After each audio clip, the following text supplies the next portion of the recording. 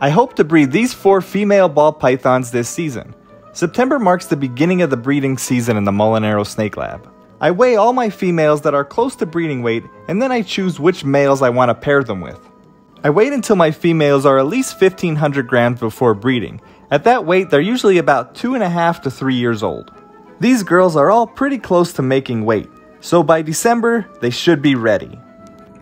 It's very important that you wait until your female ball pythons are at least 1500 grams before you start breeding them. There are some breeders that say you could breed earlier, but in my experiences, 1500 grams works best. At 1500 grams, your snake will have less slugs, more eggs, less of a chance of becoming egg bound, and it'll be a much healthier weight after it lays those eggs.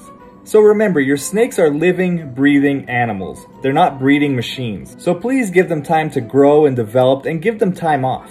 If you take care of your snakes, they'll take care of you and you'll have a much happier, healthier snake.